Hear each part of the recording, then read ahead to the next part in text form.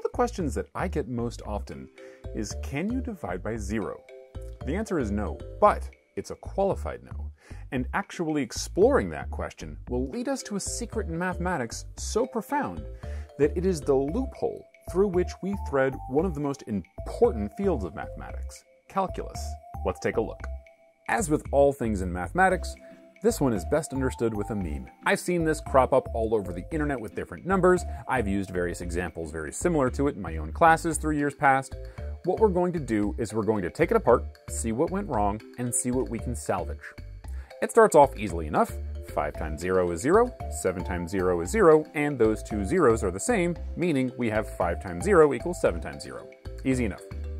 Now we're going to use an inverse operation to divide both sides by 0. Then it's simply a matter of canceling what's on top and bottom, because if you multiply by some real number and then immediately divide by it, you get back to where you started. On the left side that's 5, and on the right side that's 7. And then we get the nonsense statement 5 equals 7, which we would normally write a little line through the equal sign like this, because this isn't possible. If you do think it is possible, and you are also my bank, then $25 million also equals my current bank account balance, and uh, in case you were wondering, here's the proof. So just, I mean, I mean it's, it's math. So what went wrong? To figure that out, we're going to write down the things we did as general rules, and then see which rule we don't like. The first one is very simple. Anything times zero is zero. And in this case, we're just going to write that with a times 0 equals 0, a being just some variable, which can be any real number. The next thing we did was we divided both sides of this equation by 0. But hang on a second, because we actually need to take a step back and see if we can divide by 0 in the first place. The mathematical statement that you can divide by 0 is simply a over 0 equals b. That is to say, if you take some real number a, divide it by 0, you get some other real number b. The last thing we did here was we said that if you multiply by a number and then divide by that same number, you get back to where you started. Making that a rule looks like a times b divided by b gets you back to a. Because we got to a contradiction, and we were really only using those three rules, we're going to have to deal with it, and because it's a contradiction, dealing with it means banning it. We're then free to use the other rules to build our mathematical system. I'm not saying that you can't build a system by banning one of those two things, but I am saying that it would look pretty funny and probably not be the same system that we use when we're dealing with day to day stuff like registers and sales and basically arithmetic. And so what that means is that we really only have one option of what to ban. So it looks like the answer to the question, can you divide by zero, is no. However, like I said at the beginning, this is a qualified no, so there's a little bit more we can do here. To find that little bit more, we're going to explore the equation that seems to be at the heart of everything. In a sense, it's like what I did in the meme. I'm going to do something to both sides, only this time I'm multiplying both sides by zero. However, I get a very similar result. On the one side, I get zero, because anything times zero is zero. On the other side, I get back to a, because I have, again, multiplied and divided by the same number, which means that number cancels, getting me back to, in this case, But this is really weird. I want you to take a second and just think about this. What is the value of b? How is it that we just nailed down a value for a? The reason I say we've nailed down a value for a is because, well, let's say a was, oh, I don't know, 5. What that means is that we now have a contradiction because we started with a equals 5 and we ended with a equals 0. This is not possible a can only be one number. So we have a bit more specificity here. The things that are leading to direct contradictions are in fact those values of a that aren't zero. Those we're going to ban, and we're going to ban in a very specific way. The way mathematicians say this is that this is undefined. That is to say, there is no number we could assign to this expression that makes any sense in mathematics because you always get a contradiction. Now, on the other hand, we do know that a could be 0. Like if we started with a equals 0.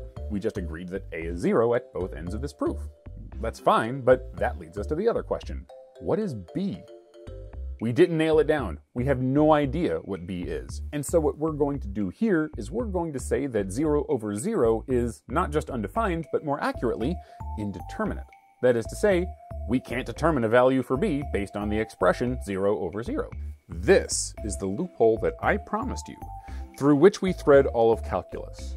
However, I'm going to have to talk about the calculus bit in its own video, not because I don't want to tell you right now, but because I want to give it its own treatment. So in the next video, I will talk about calculus. For right now, though, let's talk about some of the things that people do to try to rehabilitate the situation. That is to say, try to come up with some kind of value we can assign to, say, 1 over 0, or 2 over 0, or any of the things we just banned, basically. I love this particular kind of mindset because, well, I like making things. So if we're talking about something we can't do in mathematics, let's at least take a stab at trying to make it. Why can't we do here what we did with the imaginary numbers? Well, let's think about what we did with the imaginary numbers. The problem was we had these numbers. They were the square roots of negatives. Root negative 40, root negative 10, whatever. Well, what we did was we essentially said, okay, let's turn all of those things into something times root negative 1. Let's give root negative 1 a name, and though we might not be able to figure out what that is in terms of real numbers, we can just say, hey, look, it exists, and try to do math with it. And that turned out pretty well. In fact, we have all sorts of things we can do with the complex numbers now. And that's great. But here's the difference. There were no fundamental axioms of mathematics that we were breaking by writing down the square root of negative 1. That's different than in this case. Here, if we have 1 over 0, we actually get to a contradiction. And in fact, that's kind of going to be a reoccurring theme as we try to invent something to take care of this something non-zero over 0 case. That contradiction really is hard to get away from. Isn't 1 over 0 just nothing? Zero? This is tempting. I mean, think about how it's said 1 over 0, which is a zeroth. That certainly sounds like a type of nothingness. Two problems though. One, we have no definition for a zeroth, and in fact, we just got done saying that we can't actually make one. Two, even if we could, it probably wouldn't be zero anyways. To understand this, let's back up a step. Some fractions get simple names, like a half or a third or a quarter. The relationship between the name and the fraction itself is usually pretty direct. Consider 1 over 4, which is a quarter. This has 1 in the numerator and 4 in the denominator. What this means is take 1, a whole, and divide it into quarters, the 4. A third is very similar, as is a half. What you might notice is that the value is getting bigger and bigger as we count down the denominator. When you get to 1 over 1, for example, the value of that is 1. So whatever a zeroth is, this pattern would suggest that it's probably bigger than 1, or at the very least, not 0. So unfortunately, that doesn't work. But it does lead well into our next attempt. Can't we just call 1 over 0 infinity? This isn't as crazy as it sounds. In fact, this is the biggest misconception I often come across. The reason? Well, if you consider the pattern below, it turns out that it indeed swoops up in the direction of infinity. To see why, let's expand this pattern by writing it as a function. That is, so far we have only considered a handful of denominators, 0 through 4, but we want to consider all of the possible denominators, particularly the ones in between those numbers. To do this, we'll make the denominator a variable, so we can vary it to anything we wish. Then we'll have to name the function. Let's name this one f. We read this as f of x equals 1 over x. The payoff of writing it like this is that we get all the benefits of functions, one of which is graphing. This is Desmos. I'm not being paid by them, I just really like their web app. Don't worry about this stuff here, this is just what I use to animate the thing. Anyway, this is a graph of the function f of x equals 1 over x. You can see the four points we had earlier in our explorations, that is, a quarter, a third, a half, and of course, a whole. But you can also see all of these little points in here that are in between those values. But there's no reason we have to stop here. In fact, we can continue sweeping towards the y-axis, and we see what I was talking about a moment ago as it swoops up towards infinity. Now why is that happening? Well, consider the point here. This is 1 half comma 2. That is to say, what happens when you plug in 1 half for x.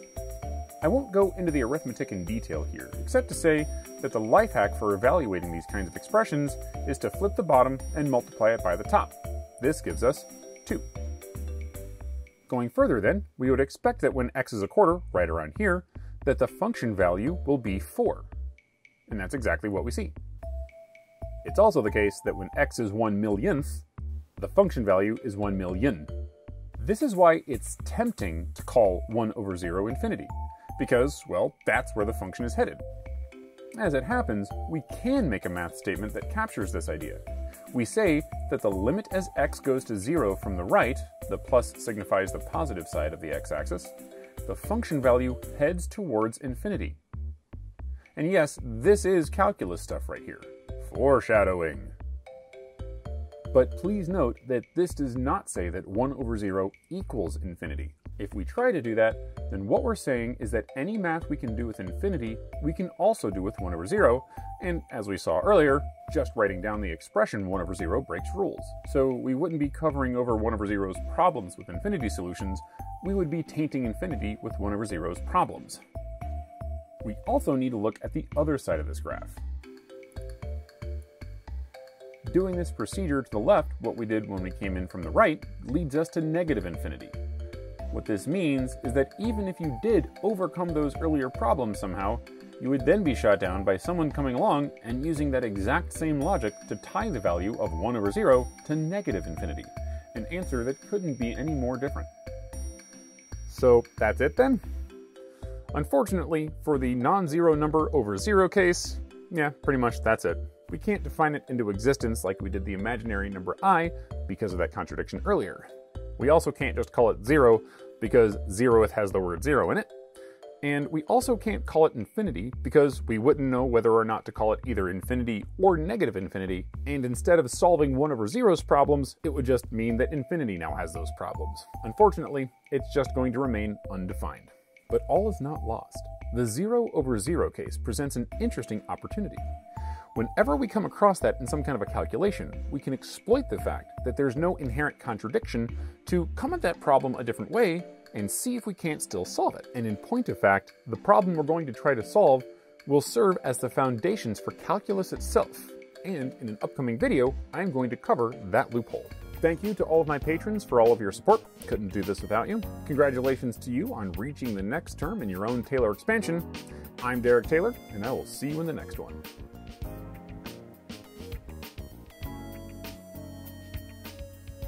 Thanks for watching. If you like this video, please click like and subscribe. If you really like the video, come on over to our Patreon page where you can get involved and see all the cool stuff we're doing.